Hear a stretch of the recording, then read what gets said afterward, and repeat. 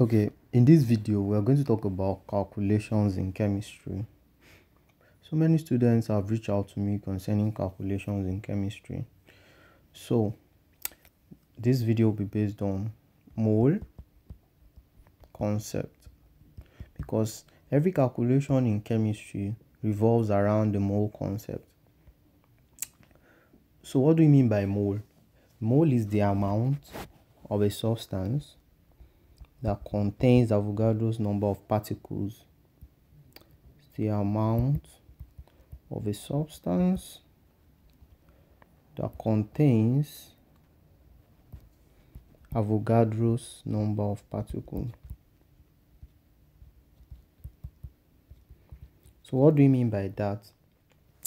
Just like when we say one dozen is equal to 12, when we say um, one score is equal to 20, so one mole of any substance is equal to Avogadro's number of particles present in that substance.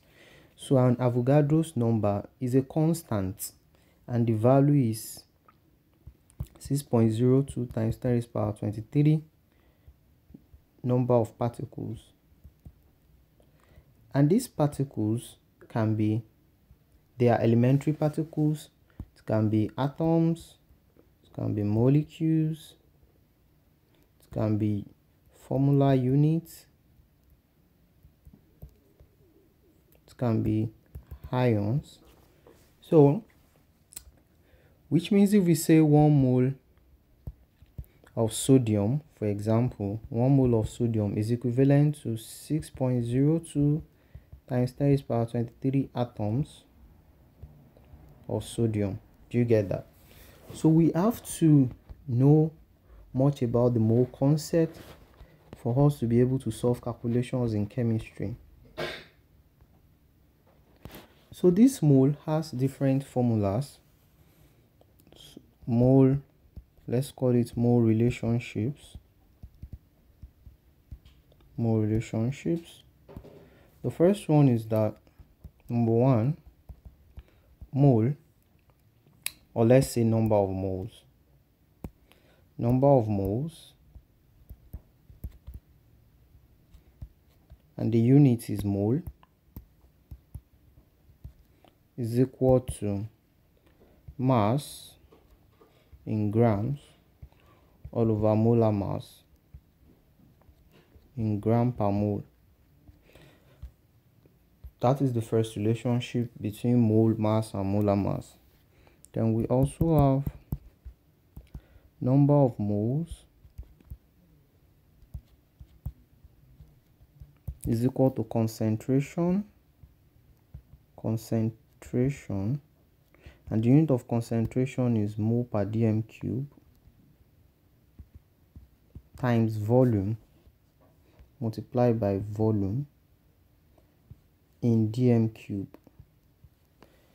Remember I have once said it that dm cube is equivalent to liter. So we can say the unit of concentration here is mole per liter and the unit of volume is in liter. So we have number of moles is equal to concentration times volume. Also, based on the definition, number of moles is equal to number of particles, number of particles all over Avogadro's number. That is another way to calculate the number of moles.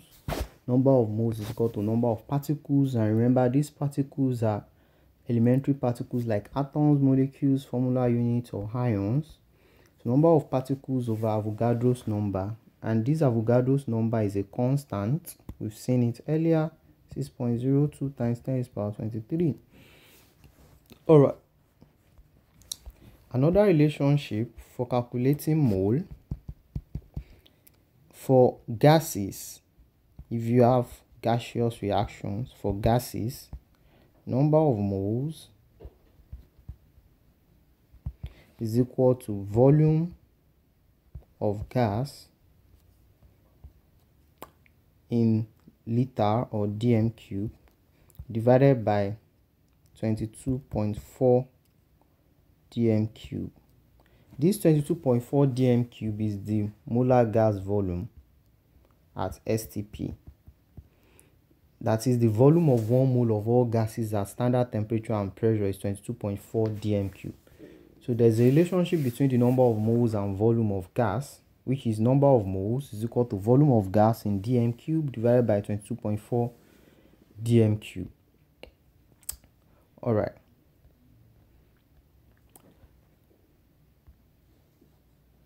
And also for gases, for ideal gases, okay, let's say for ideal gases, Some of you should be familiar with this equation called ideal gas equation. And the ideal gas equation is PV is equal to nRT. So we can make number of mole, which is N, the subject of the formula. So N will be equal to PV over RT, where P is the pressure, V is the volume, and this pressure is in atmosphere the unit of volume is dm cube or liter and this r is the gas the gas constant and um, it's like the gas constant and it's a constant it's something like 0 0.0821 liter atmosphere per Kelvin per mole. Yeah. And this temperature, this is temperature and the unit is Kelvin. So, n here is the number of mole. So, these are the different relationships to calculate the number of mole which you have to really know for you to be able to solve calculations in chemistry if you can really know these five formulas very well then you'll be able to solve calculations in chemistry so we are going to do an example using this. Okay so let's consider this example. Calculate the number of moles present in each of the following. 5.3 grams of sodium trioxocarbonate 4 4.25 times 10 raised power 21 atoms of copper, 200 cm cube of 0.025 mole per dm cube H HCl solution. Okay, so let's start. Solution. Question 1. We are given the mass of sodium trioxocarbonate 4 mass which is equal to 5.3 grams now we can calculate the molar mass of sodium trioxocarbonate 4. Let's do that. Molar mass of sodium trioxocarbonate 4. To do that, we are going to add the atomic masses of each of the elements present. Sodium is 23 multiplied by 2. I believe you can do this to find the molar mass. Plus carbon is 12 plus oxygen is 16 multiplied by 3 and that will give us 23 times 2 that's 46 plus 12 plus 16 times 3 that's 48 so 46 plus 12 that's 58 plus 48 and that's going to give us 106 grams per mole as the molar mass now we are looking for the number of mole calculate the number of mole, let's go back to the formulas. Of all these formula, the best formula to use is this because we have the mass and the molar mass. So to calculate the number of mole, we use this relationship. Number of mole is equal to mass over molar mass. So we can now say that number of moles number of moles is equal to mass over molar mass which will be equal to 5.3 grams divided by 106 grams per mole. So 5.3 divided by 106 which is equal to 0 0.05 mole. So the answer here is 0.05 mole of sodium carbonate. So let's go to the second question. It says that calculate number of mole in 4.25 times 10 to power 21 atoms of copper. So we are given the number of atoms, number of atoms, which is equivalent to number of particles. You remember that we said the particles can be atoms, molecules, ions, or formula units. So number of atoms, 4.25 times 10 to the power 21 times 10 to the power 21 atoms. And then we have to calculate the number of moles. So we can use this relationship that says that number of mole is equal to number of particles, which here is atoms, over Avogadro's number, which is a constant. So we can use that and say that number of moles is equal to number of particles over Avogadro's number. So now what is the number of particles? 4.25 times 10 raised power 21 atoms divided by what is Avogadro's number? We have it here Avogadro's number 6.02 times 10 raised power 23. 6.02 times 10 raised power 23. You don't need to memorize this Avogadro's number. It's a constant you will always be given. In fact, in this question, I was we were supposed to add the Avogadro's number as a constant. You will always be provided in your question, so you don't need to memorize it.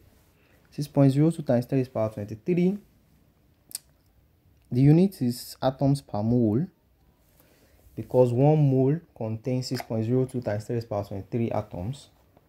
4.25. So let's do the division. So it gives us 7.06 times 10 power minus 3 moles. 7.06 times 10 power minus 3 moles. Or we can say it's equivalent to 0 0.0071 mole. Yeah. So let's solve the third question. 200 cm cube of 0 0.00 0.025 mole per dm cube what are we given? We were given the volume the volume is equal to 200 cm cube. And we were given the concentration the concentration 0.025 mole per dm cube 0.025 mole per dm cube. So now we have the volume and the concentration. Which formula are we going to use? We are going to use this formula that says number of mole is equal to concentration times volume because we have the concentration and we have the volume. But the volume we were given was in centimeter cube instead of dm cube, decimeter cube. So what are we going to do? We have to convert this volume from cm cube to dm cube, more like converting it from milliliters to liter. So to do that, we are going to divide it by 1000. That will be 200 divided by 1000 and that will be 0 0.2 dm cube. 0 0.2 decimeter cube. So now we can use the formula number of moles is equal to concentration times volume which is equal to the concentration is 0 0.025 mole per dm cube volume is 0 0.2 dm cube so it should be equal to let's do the math 0 0.025 times 0 0.2 that will be 5 5.0 times 10 raised power minus 3 mole